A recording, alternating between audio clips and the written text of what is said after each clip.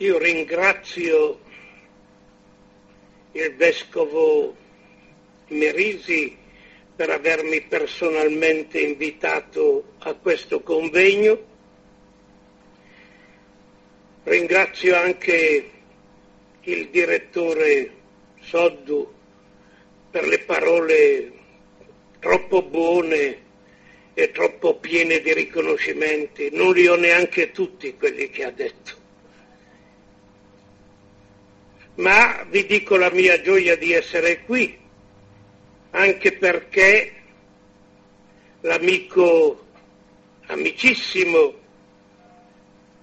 Giovanni Nervo fin dall'inizio mi aveva invitato ai primissimi convegni e ho sempre seguito l'itinerario della Caritas nella Chiesa italiana con molta simpatia, a volte anche con apprensione, ma sempre direi eh, con uno sguardo eh, grato per la sua presenza. E poi sono anche contento di essere qui in Sardegna perché credo che non è una captatio benevolenze, amo particolarmente questa terra, che è l'unica terra che da 42 anni ogni estate mi vede solo qui per quei pochi giorni di vacanza che possono essere concessi a un monaco, ma sempre e soltanto la Sardegna. Esattamente la Costa Rei, perché non mi pensino in qualche santuario.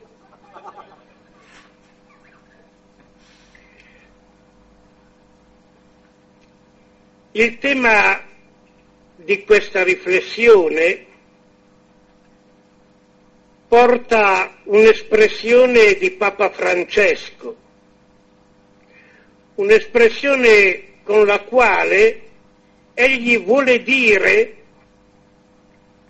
come secondo il suo cuore debba avvenire l'evangelizzazione, l'andare con il Vangelo fino alle periferie esistenziali. Per più di 17 volte Papa Francesco è ritornato nei suoi interventi su questa espressione già enunciata nella messa crismale del 28 marzo 2013 e poi soprattutto spiegata nel discorso al convegno ecclesiale della diocesi di Roma il 17 giugno sempre dello scorso anno. Dunque, le periferie esistenziali, secondo il Papa, sono i luoghi in cui, e faccio riferimenti precisi alle sue parole senza ogni volta eh, darvi la fonte, in cui c'è sofferenza, c'è sangue versato, c'è cecità che desidera vedere, ci sono prigionieri di tanti cattivi padroni. Ma ancora, sono i luoghi abitati da tutti coloro che sono segnati da povertà fisica, intellettuale e morale. Ancora le sue parole, sono i luoghi dove sta chi sembra più lontano e più indifferente. Sono luoghi dove Dio non c'è, sono le periferie che hanno bisogno della luce del Vangelo. Questa espressione di Papa Francesco, periferie geografiche esistenziali, ha avuto una grandissima fortuna e ormai ripetuta ogni volta che si parla o dell'evangelizzazione o della presenza dei cristiani nel mondo, perché è un'espressione che indica gli estremi confini, là dove forse i credenti non vorrebbero andare o fanno difficoltà ad andare. Ma io credo che questi luoghi in realtà sono già presenti all'interno della Santa Scrittura, non sono una novità, io sono contento che una formula del Papa sia così ben accolta e ripetuta, però insomma la scrittura ce li ha sempre indicati, sono espressioni, ve le dico nelle diverse traduzioni italiane, ma le isole dei lontani, gli estremi confini, che non erano assolutamente l'aldilà semplicemente dei mari verso i quali soprattutto gli ebrei neanche osavano pensare, ma erano effettivamente i luoghi periferici dove il Signore Dio di Israele non era conosciuto, né regnava, né aveva svolto un'azione di liberazione. E allora voi trovate nei profeti, nei salmi, queste espressioni. Certamente Gesù nel suo Vangelo non ha questa espressione, ma proprio perché ha voluto incontrare uomini e donne in situazioni molto diverse, ma tutte contrassegnate, potremmo dire, da un bisogno, ecco, quelli che ha incontrato Gesù sono i rappresentanti delle periferie esistenziali. Dunque, L'indicazione ci viene dalla parola di Dio, ci viene dalle parole e dalle azioni di Gesù e noi dobbiamo tenerle presenti dunque come realtà, ma un patto, a un patto, a patto di non definirle prima. Io ho un po' paura di questa espressione periferie esistenziali perché siamo indotti da quello a dirci quali sono e predefinirle prima eventualmente di raggiungerle, conoscerle dal di dentro, ascoltarle. E questo è un grave rischio. Io faccio qui un discorso esigente per noi cristiani.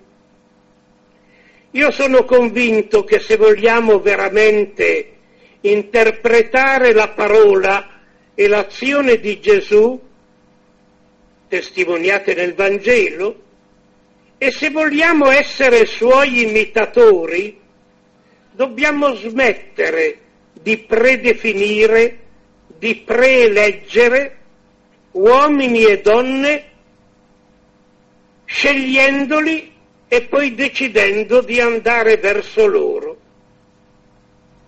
Mi sembra che noi, in qualche modo, continuiamo a farci una domanda sbagliata, errata, sia nell'evangelizzazione sia nel servizio della carità, che è servizio inclusivo all'evangelizzazione. Nessuno pensi che può esserci evangelizzazione senza la carità. Qual è la domanda sbagliata?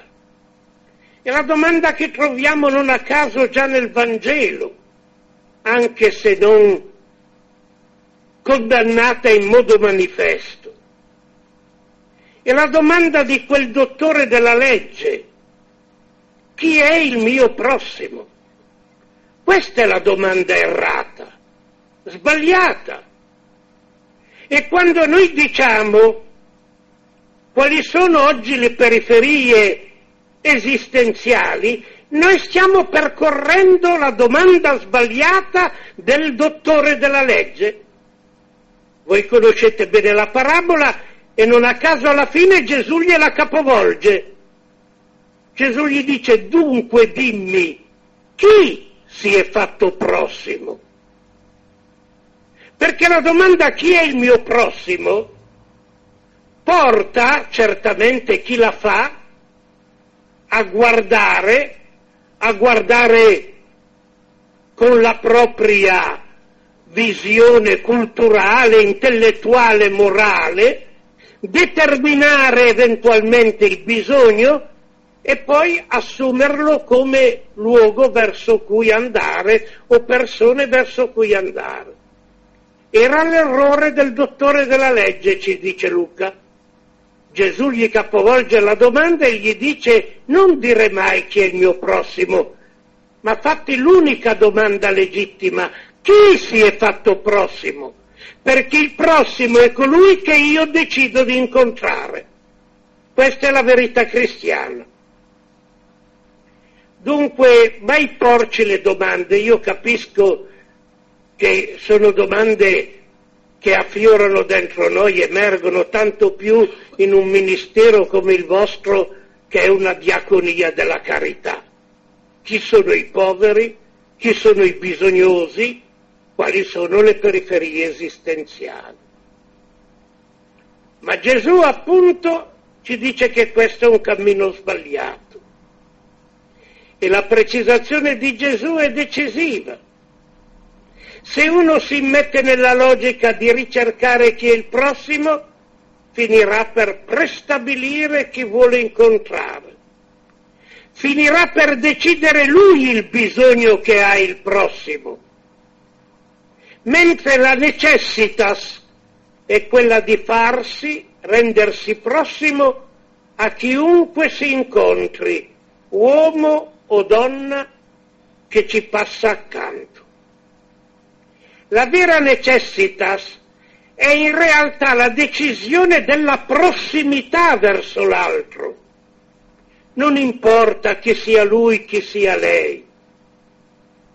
Noi non ci avviciniamo all'altro perché è nel bisogno, noi dobbiamo avvicinarci all'altro perché è un uomo e una donna, è un fratello e una sorella in umanità, è un figlio di Dio per il quale Gesù Cristo è morto. Basta.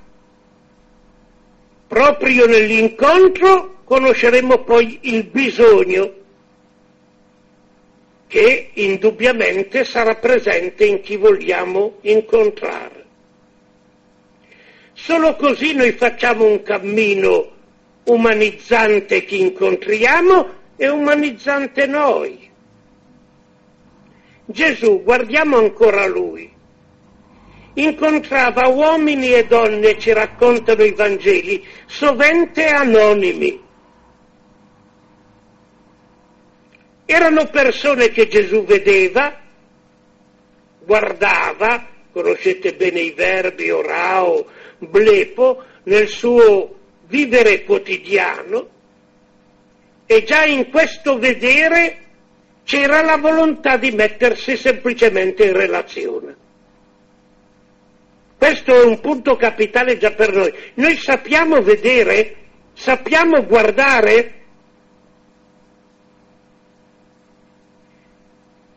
Ecco allora che proprio perché vedeva e quindi voleva mettere in moto un movimento di avvicinamento all'altro, ecco avvenire la prossimità.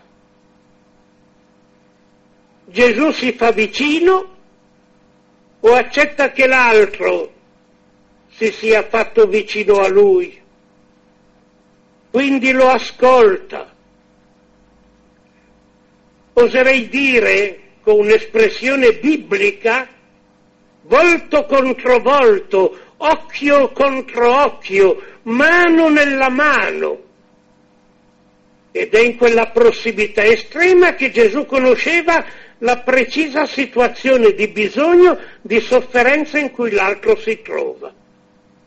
Non a caso il più delle volte Gesù fa delle domande. Che cosa vuoi che io ti faccia? non va verso l'altro dicendo io so cosa devo fare per lui. Cosa vuoi che io ti faccia? A volte incontro un malato nel corpo, altre volte un malato nella mente, altre volte un malato nello spirito, altre volte si trova di fronte un peccatore, altre volte si trova anche in casa di un ricco come il ricco che lo ha invitato a pranzo. Ma sempre, vedete, Gesù innanzitutto voleva incontrare l'altro. E vedremo in che senso eventualmente voleva incontrare il bisognoso, perché su questo è molto preciso il Vangelo. Voleva incontrare chi si sente bisognoso, ma non chi lui definiva come bisognoso. E proprio in questo Gesù si interessava della sofferenza dell'altro, non del peccato dell'altro. Lo dico perché noi, uomini di Chiesa, sovente quando incontriamo l'altro ci interessiamo del suo peccato più che della sua fatica e della sua sofferenza a vivere. E questo non è secondo il Vangelo. La periferia spirituale o esistenziale in cui l'altro abita è scoperta da Gesù nell'incontro, non è da lui prestabilita.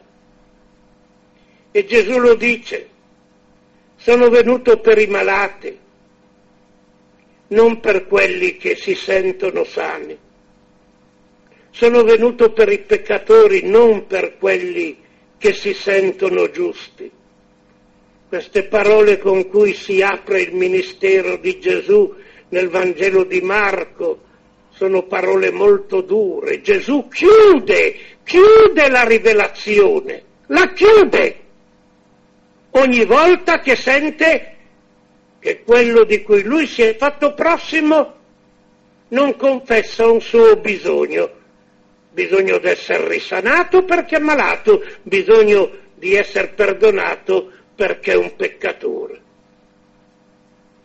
Abbiamo ancora sentito nel Vangelo domenica, se foste ciechi. Ma siccome voi dite ci vediamo, il vostro peccato rimane e rimarrà.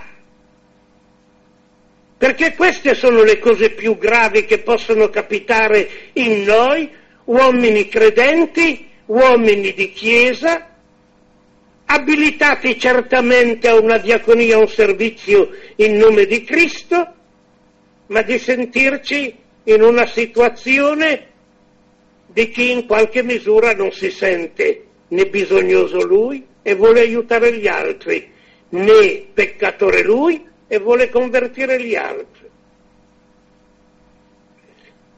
C'è un itinerario di Gesù che mi ha sempre impressionato è capitato anche a voi di leggere qualche, come posso dire, testo riguardante la nascita o la manifestazione dei grandi iniziatori della, delle religioni. Il primo loro gesto è sempre qualcosa di glorioso. Buddha si manifesta con una predica in cui tutti sono conquistati. Maometto la stessa cosa, addirittura convergono a lui tutti per applaudirlo. Gesù la prima cosa che fa si mette in una fila di peccatori, lui che non aveva peccato, in una fila indiana per chiedere al suo maestro Giovanni Battista di rimettergli i peccati mediante un'immersione. Questo è l'inizio del suo ministero. E l'ultima sua situazione sarà quella in mezzo a due peccatori condannati a morte in croce. Vedete questo itinerario che Gesù ha fatto di kenosis, di spoliazione, per raggiungere noi uomini e trovarci là dove noi siamo. Il nostro Dio non ci ha chiesto di salire in cielo, non ce l'ha chiesto. È Lui che è sceso dal cielo per venire in mezzo a noi e raggiungerci nelle nostre situazioni. E nel credo, purtroppo non sappiamo più quel che diciamo, ma arriviamo a dire che Lui discese agli inferi. E voi sapete che inferi o inferno hanno un unico termine, non ne sono due, e indicano non tanto la condizione di chi eventualmente è punito in eterno, ma il luogo dove Dio è quasi assente, dove le forze del Signore sembrano quasi inefficaci, dove c'è la tenebra e la morte. Gesù è sceso lì e come hanno capito i padri della Chiesa è andato a trovare Adamo Dove era Adamo? Non gli ha detto di salire verso di lui. Lo canta molto bene la liturgia bizantina la notte di Pasqua. Questo itinerario fatto da Gesù è l'itinerario del discepolo. Di chiunque la sequela di Gesù è chiamato ad annunciare e testimoniare il Vangelo. Il discepolo di Gesù chi è? Proprio perché si chiama cristiano è uno che cerca di rifare la vita fatta da Gesù, niente di meno, per quanto è possibile, con tutte le mancanze. Il cristiano deve fare come Gesù ha fatto, parlare come lui ha parlato, incontrare l'altro come lui lo ha incontrato. E questo è ciò che è fondamentale. Si tratta di narrare, di raccontare Gesù. Come Gesù ha raccontato il Padre, exegesato, Giovanni 1,18. Dio non l'abbiamo mai visto, ma il Figlio ce ne ha fatto il racconto. Gli uomini e le donne di oggi possono dire Cristo non l'abbiamo mai visto, ma quel cristiano, quella Chiesa, ce ne ha fatto il racconto exegesato. Fatte queste precisazioni cristologiche preliminari, vorrei con semplicità precisare il cammino del Vangelo della carità e il suo stile. Due punti semplicemente. Il primo, noi confessiamo che il soggetto assoluto dell'evangelizzazione è Dio, che invia il figlio nel mondo e proprio il figlio, nella forza dello Spirito Santo, consegna la buona notizia all'umanità intera. E sappiamo che la Chiesa è chiamata nella storia e nella compagnia degli uomini a predisporre tutto perché questa missione del figlio possa raggiungere gli uomini. Per essere dunque fedele a questa vocazione c'è un primo passo da fare, che deve fare la Chiesa e che dobbiamo fare tutti noi, ciascuno di noi, cioè decentrarci. Certamente io oso dire queste cose perché le dice anche Papa Francesco, le osavo dire anche prima, ma non era così assodato. L'espressione di Papa Francesco, una Chiesa che deve decentrarsi. Tra l'altro anche questo lo dice il Vangelo, non so se vi siete mai chiesti perché Gesù abbia amato tanto chiamarsi figlio dell'uomo e parlare sempre di sé alla terza persona. Uno che legge i Vangeli con degli strumenti, oserei dire, psicologici o delle scienze umane si pone la domanda, parla di sé alla terza persona. Tutte le volte il figlio dell'uomo verrà, il figlio dell'uomo ha ora il potere, il figlio dell'uomo sempre alla terza persona. Ebbene, quando fanno delle letture di questo testo dicono la sua volontà di decentrarsi di non porsi al centro, perché il centro doveva essere tenuto dall'annuncio del regno di Dio, così fondamentale nei Vangeli, quanto più tardi se ne è spersa l'espressione. Allora questo movimento di decentramento non è facile per ciascuno di noi, non lo è neanche per la Chiesa, tutti noi siamo tentati di stare al centro, di attirare a noi gli uomini e le donne, di sentirci soddisfatti di noi stessi, uso un'altra espressione di Francesco, di sentirci chiesa introversa, con la variante alcune volte di sentirci assediati, dunque paurosi. Allora il primo passo da compiere è cercare di essere una chiesa in uscita, Evangeli Gaudium 2024, in modo da lasciare Cristo al centro e annunciare il Vangelo a tutti in tutte le situazioni senza repulsioni e senza paure.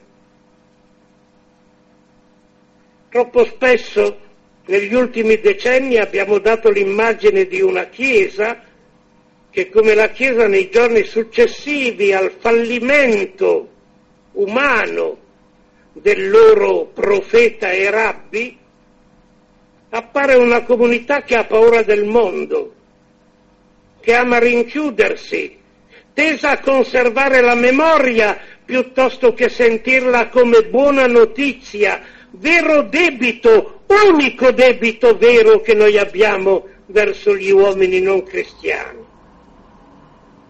Per chiarire questo, Papa Francesco è ricorso addirittura a un'esegesi fantasiosa, eh, permettiamolo il Papa, è un'esegesi fantasiosa che non sta né in cielo né in terra, ma con ogni probabilità lui riesce a toccarci anche così. Avete presente quando commenta il passo dell'Apocalisse? Io sto alla porta e busso, se uno sente la mia voce mi apre, io entrerò, cenerò con lui e lui con me. E voi sapete che Papa Francesco dice no, queste parole le dice Gesù, ma dal di dentro, e le dice alla Chiesa che lo tiene chiuso. Lui bussa alla porta per uscire e la Chiesa lo tiene chiuso. Vi ripeto, esegesi fantasiosa, ma che c'è già un segno di un passo che con ogni probabilità abbiamo difficoltà a fare sulle strade del mondo. Le abitudini. È così, io mi rendo conto, permettetemi di dire, adesso che ho 70 anni, come ho tante abitudini care e che mi fa difficoltà qualche volta mutare. Un certo diletto alla tradizione, una certa inerzia dovuta alla nostalgia per quello che si è sempre fatto.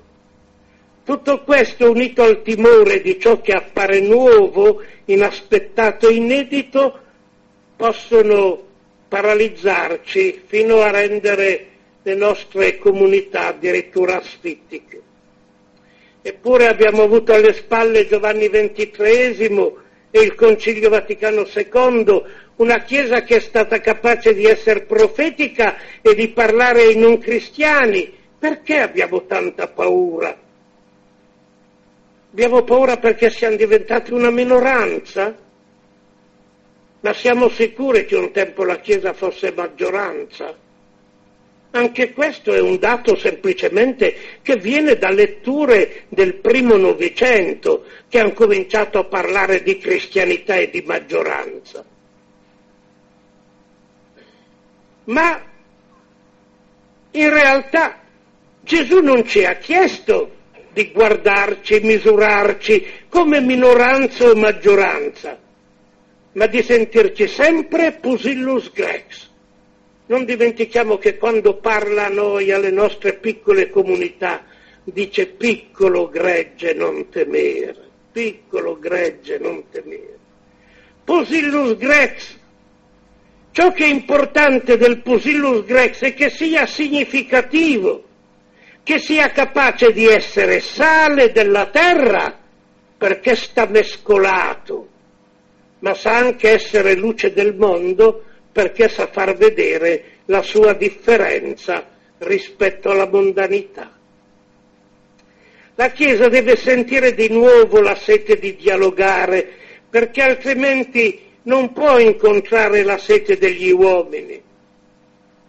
Al pozzo di Sicar è stato possibile quell'incontro perché si sono incontrate due seti, due assetati, Gesù e la donna samaritana. Ecco perché il dialogo non è un'opzione possibile, è il modo di essere Chiesa. Noi siamo nati il giorno della Pentecoste, il giorno del dialogo tra i giudei e le genti. Quanti popoli in quel giorno, eppur capaci di intendere un'unica buona notizia, nella propria cultura, nella propria lingua, nel proprio cammino di umanizzazione. Come non ricordare queste parole profetiche di Paolo VI? La Chiesa deve sempre venire in dialogo col mondo in cui si trova a vivere. La Chiesa si fa parola, la Chiesa si fa dialogo, la Chiesa si fa conversazione. Ecclesia Sua 67. E non dimentichiamo mai la descrizione dei cristiani presenti in quello splendido testo che è la lettera di Ogneto, uomini e donne nella compagnia degli uomini, cittadini leali, sottomessi alle leggi della polis, senza una lingua sacra, senza abitazioni separate, ma capaci di manifestare la differenza cristiana rispetto ai pagani sapevano vivere dialogando, ma soprattutto essere solidali. Pensate un po' l'ingenuità di quel testo, ma che è significativa. Mettono in comunione i beni, non mettono in comunione i letti. Ah, straordinario. Sembra poco, ma è una dinamica. Tutto quello che deve essere condiviso per solidarietà è condiviso c'è una sola fedeltà, quella della storia dell'amore, del cammino, che non può essere assolutamente smentita. Ma così erano significativi, dice quel testo che erano amati dagli altri, addirittura anima del mondo. Oggi allora più che mai noi siamo immersi in una cultura che ha bisogno proprio di questo nostro cammino non dimentico, anche se non mattardo, che noi siamo in una cultura in cui è dominante la comunicazione virtuale. Siamo sempre connessi.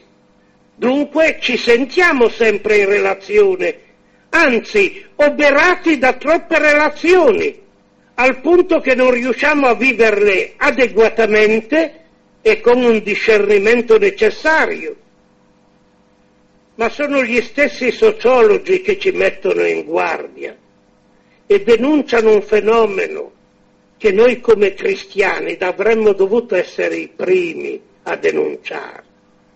Mi riferisco a quella denuncia che è stata fatta peraltro da un filosofo sociologo che non è cristiano, Luigi Zoia, il quale giustamente avverte Nietzsche aveva profetizzato la morte di Dio all'inizio del secolo scorso. In realtà oggi è arrivata la morte del prossimo.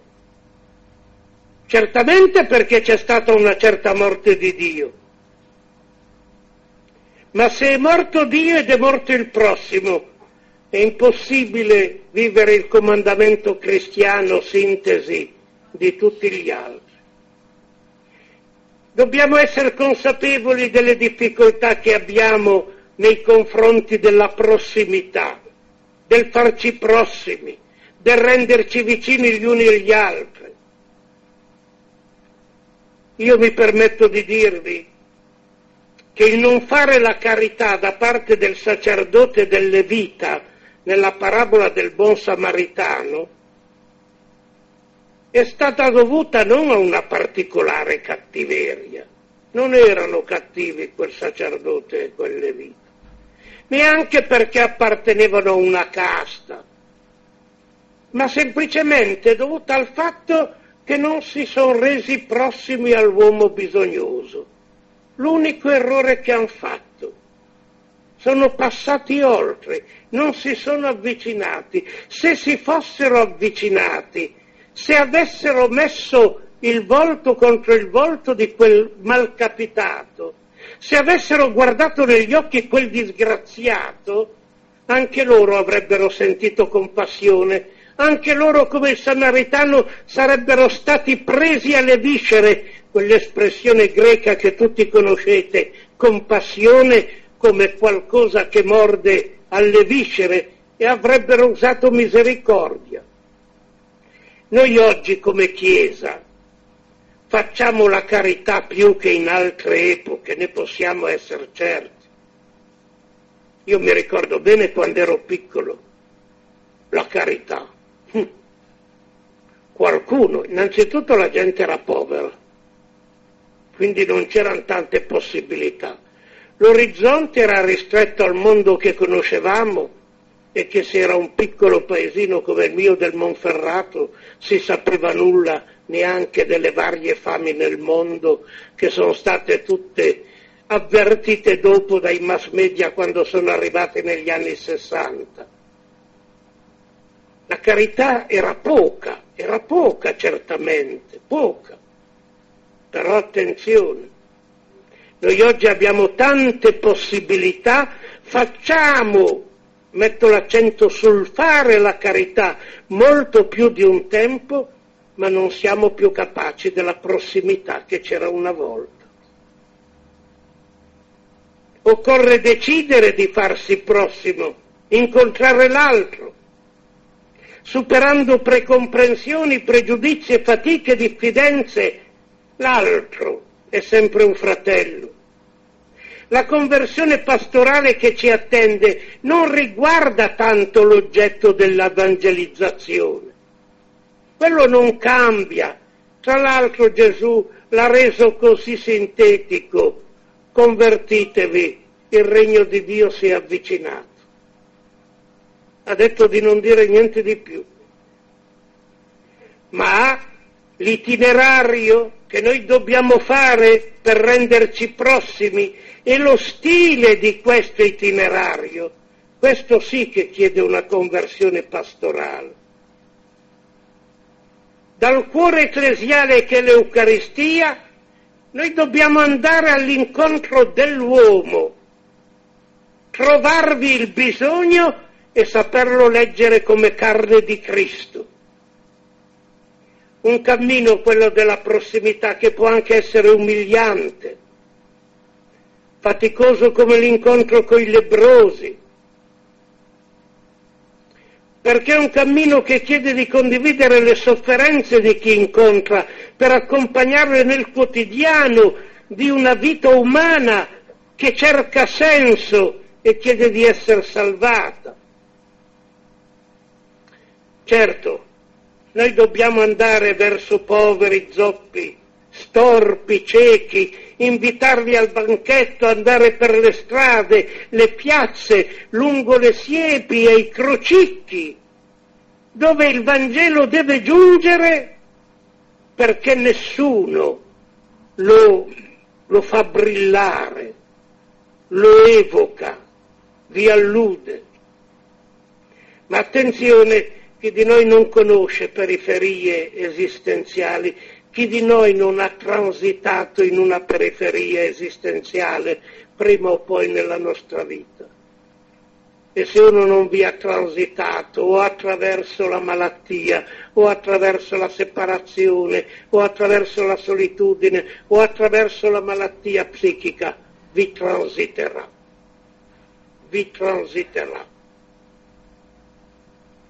La sofferenza la morte, la malattia, la povertà, lo stato di che ultimo non può essere rimosso, ma non per fatalità, ma perché noi uomini non siamo capaci a salvarci. Per questo Gesù ha detto i poveri li avrete sempre con voi. Non è che invocasse una fatalità, dunque ve li dovete tenere e ci saranno sempre ma perché questa in realtà la povertà è cangiante, cambia i volti, cambia gli aspetti, ma la trovate. Certo da noi si era fatta rara la povertà di chi ha fame, adesso con la crisi è tornata. Chi di voi non conosce ormai, soprattutto voi della Caritas, mi sembra che siete i più autorevoli a questa lettura, quelli che vengono a chiedervi ormai, lo vedo anche nella mia comunità, pasta bottiglia di olio, un po' di riso, non vengono più a chiedere neanche qualche soldo. Insomma, noi dobbiamo avere questa consapevolezza. Secondo punto, lo stile. Certamente il testo esortativo di Paolo nella lettera ai cristiani di Colossi, che avete scelto quale exergo al convegno, rivestitevi di sentimenti, misericordia, bontà, umiltà, mansuetudine e pazienza. Non mi soffermo perché si è già soffermato nella prolusione Monsignor Merisi. vuole certamente indicare lo stile con cui il Vangelo può raggiungere le periferie esistenziali. Evoca lo stile da assumere nel vivere il Vangelo della carità, lo stile della vostra azione, che possiamo definire ecclesialmente diaconia, è il servizio e la diaconia è sempre caritas, sempre agape. Anche nella traccia che è stata pensata e redatta per questa occasione, voi parlate di stile, stile di profonda relazione, stile di compagnia. Vorrei quindi con voi dire qualcosa sullo stile dell'azione caritativa nella consapevolezza che Gesù ha molto insistito su questo aspetto. Possiamo dire che ha precisato molto di più lo stile del discepolo, si è dilungato nel tratteggiare i caratteri della missione molto più che sull'oggetto, sulla buona notizia. Pensate gli invii in missione, il mandato è breve, dite che il regno di Dio è venuto. Curate i malati, ma poi quando andate non due bastoni, non due tuniche, non soldi nella cintura, ma tutto quello stile di chi si deve mostrare disinteressato rispetto al dono che fa. Il Vangelo è buona notizia non solo per il contenuto, ma per lo stile con cui si annuncia. L'azione caritativa dei discepoli non può solo essere un fare il bene, deve essere un'azione che anche nelle modalità con le quali è esercitata deve mostrare la carità di Dio. Qui occorre sempre far revisione. Ognuno di noi, la Chiesa, voi che avete l'impegno in questa diaconia della Caritas sempre discernere se lo stile è adeguato all'opera che voi fate. Dobbiamo quindi mettere innanzitutto in rilievo che proprio nel dare un itinerario al Vangelo della carità dobbiamo tener presente la povertà. Una Chiesa può essere per i poveri e agire per i poveri solo se lei è povera. E il cristiano, quale soggetto che si indirizza ai poveri, deve anche lui essere povero. Non si tratta, attenzione, della miseria e nessuna lettura pauperistica o troppo facilmente francescana del Vangelo. Noi in Occidente ne paghiamo lo scotto di una certa leggenda pauperistica. Gesù non era un misero, ha mai patito la fame se non per digiuno, ma non era un ricco, era un povero, attenzione. Non finiamo eventualmente ogni stagione di applicargli quali sono i nostri desideri, perché ormai Gesù ogni stagione gli si dice qualcosa. No, ascoltiamo il Vangelo. E io sono convinto dunque oggi che in primo luogo è urgente per la Chiesa, è urgente per la Caritas, non tanto aggiungere azioni a quelle in cui siete già impegnati, quanto assumere la povertà come stile. Questa è una sfida enorme. Non è un caso che Papa Francesco abbia detto fin dall'inizio io voglio una Chiesa povera oltre che per i poveri. L'avete sentito e lo continuo a dire, ma anche qui c'è solo la fedeltà al concilio se non vogliamo andare al Vangelo. Come posso non leggervi quel brano che quando fu scritto io allora ero un ventenne, ma mi trepidava il cuore come Cristo ha compiuto la sua opera di redenzione nella povertà così anche la Chiesa è chiamata a prendere la stessa via. Gesù Cristo per noi da ricco che era si è fatto povero, così anche la Chiesa, benché per eseguire la sua missione abbia bisogno di risorse umane, non deve cercare la gloria terrena, ma deve con il suo esempio diffondere umiltà e abnegazione. Così la Chiesa può portare davvero vi ricordate il testo Lumen Gentium 8, eh? non è un testo periferico, è un testo cristologico, asse della Chiesa e della sua essenza. Così la Chiesa può portare la buona notizia ai poveri. E la Caritas, in un certo senso, benché abbia bisogno di risorse, parafraso Lumen Gentium, deve poi però assumere uno stile di povertà e in quelli che portano il Vangelo della carità, ma anche in tutto il suo essere diaconia. Questo a noi appare scandaloso, paradossale. Ci verrebbe da dire, come disse un eminente ecclesiastico, me lo disse un giorno, io non voglio una chiesa povera, caro, ma una chiesa più ricca, in modo che possa fare maggiormente bene. E cosa volete? L'ingenuità non è il più grave dei peccati. Ma questo annuncio della povertà è il cuore dell'evangelizzazione della carità. Una Chiesa e dei cristiani che non accettano la dinamica della spogliazione non saranno mai capaci di portare la buona notizia del Vangelo e attenzione, quelli che si incontrano non avranno mai piena fiducia in noi. Ci sentiranno quelli che danno, danno, danno, ma non hanno poi tempo né alla presenza, né al camminare insieme, né a quel bisogno di compassione che aiuterebbe davvero la nostra umanizzazione.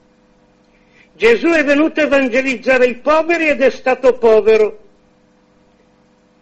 Ha sempre rifiutato quelle ricchezze, quei beni di questo mondo che Satana gli ha offerto nella seconda tentazione narrata da Luca, quella tentazione in cui viene svelata la vera identità del demonio, perché, dice Luca, il demonio è il padrone di tutta la ricchezza della terra.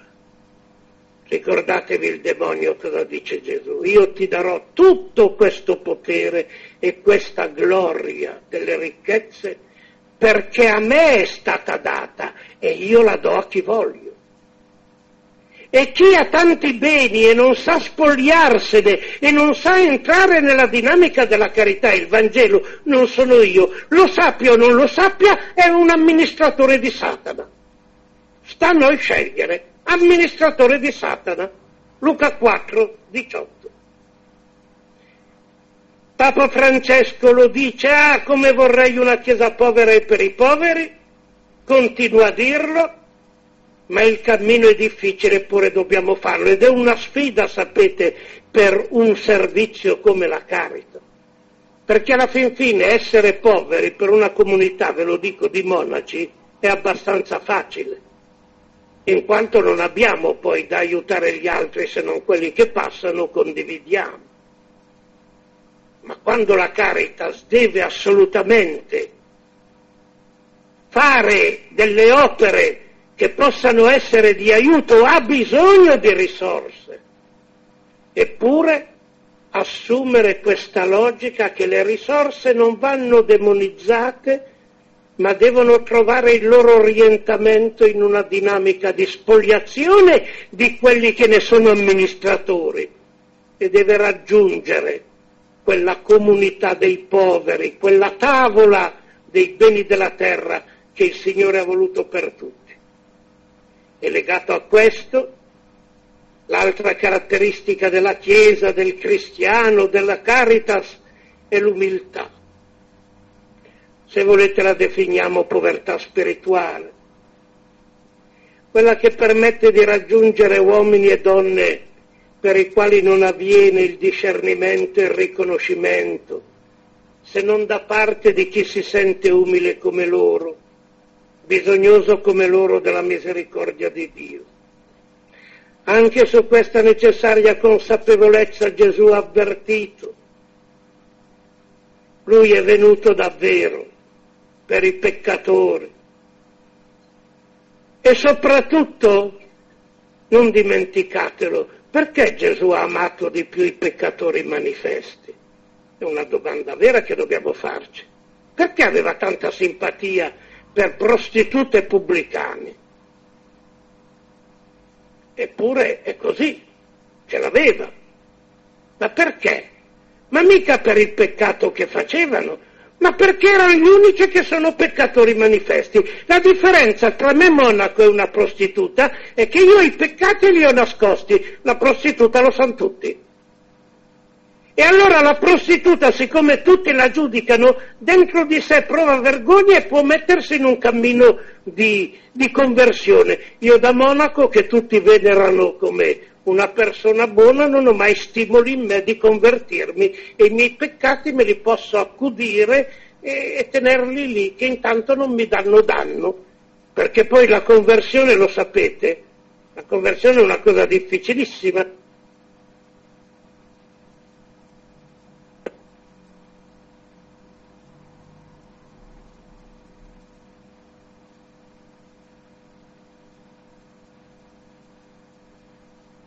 non diventano pubblici i peccati, amiamo tenerli il più possibile e custodirli. Una Chiesa dei cristiani che non si impongono, propongono con mitezza e dolcezza, che stanno in mezzo agli altri con semplicità, cercano di avere un bel comportamento, anastrofe calè, dice Pietro, bel comportamento, una pratica cordiale del confronto, senza ostentazione di certezze. In quest'ottica andrebbe ancora riletta l'esortazione di Paolo VI, Evangeli Nunziandi, che il Papa Francesco fa bene a definire il miglior testo del Magistero sull'evangelizzazione. Insomma, ci vuole quello spirito che Paolo VI diceva esattamente 60 anni fa, ve lo ricordate? In cui diceva la Chiesa deve guardare al mondo con immensa simpatia. E se il mondo si sente estraneo alla Chiesa, la Chiesa non può sentirsi estranea al mondo, qualunque sia l'atteggiamento del mondo verso la Chiesa allora nessuna visibilità ad ogni costo dell'azione caritativa, nessuna sovraesposizione, nessuna tentazione di imporsi e di essere riconosciuti per il bene che eventualmente facciamo. Anche in questo caso valgono le parole di Gesù, non sappia la tua sinistra quel che fa la destra. E concludo. Concludo ritornando alla parabola del Samaritano però la muto un po', ma sono sicuro che Gesù Cristo non se la prende. Ve la racconto un po' diversamente. Sapete che un uomo scendeva da Gerusalemme a Gerico, incappò nei ladroni, lo spogliarono, lo picchiarono, lo lasciarono mezzo morto. Homo quidam.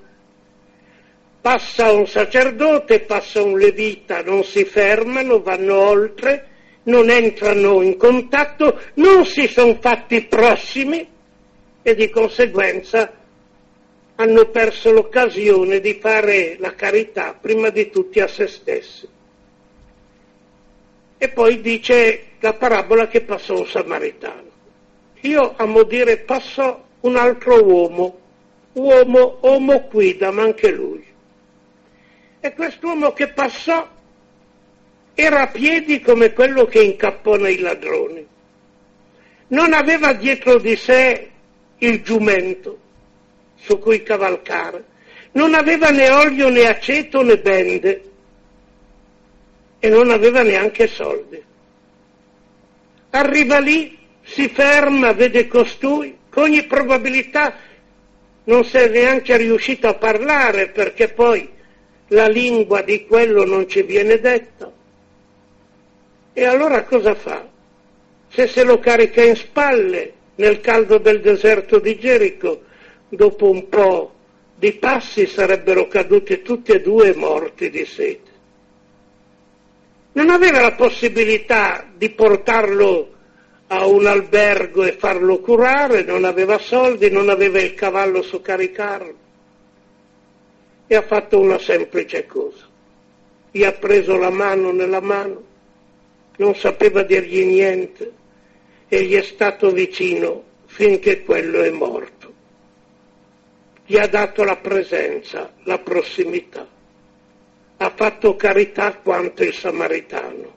Non dimenticatelo che anche una caritas che non arrivasse ad avere mezzi e a fare tante cose può sempre fare la carità di chi dà se stesso la propria presenza per gli altri e questo è ciò che il Signore vuole.